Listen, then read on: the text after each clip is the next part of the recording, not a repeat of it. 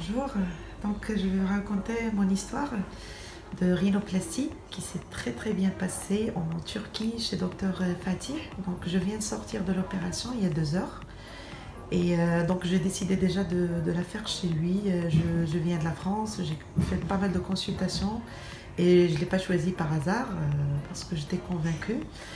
Et donc voilà, là je viens de sortir il y a deux heures de mon opération. Donc j'ai pas de douleur, mais vraiment aucune douleur.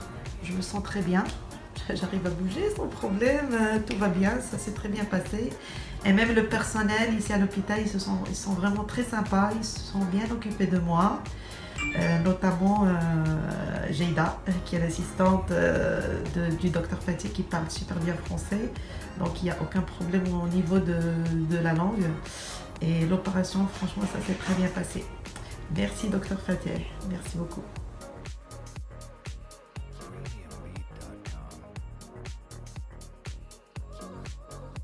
Bah, bonjour, euh, donc euh, je vous raconte mon histoire. Donc ça fait une semaine que je me suis fait opérer du nez, donc une rhinoplastie euh, avec docteur Fateh.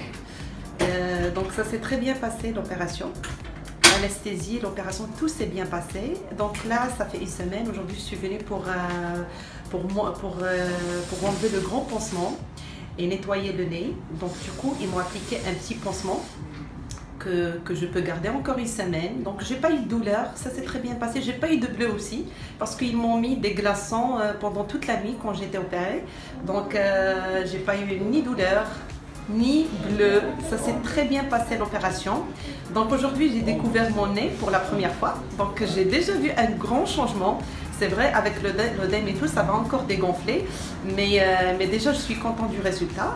Et, là, du coup, là, je peux partir en vacances euh, tranquillement. Et je dis bien sûr euh, merci au docteur Fater et merci à l'assistante Jeida, que je la remercie beaucoup.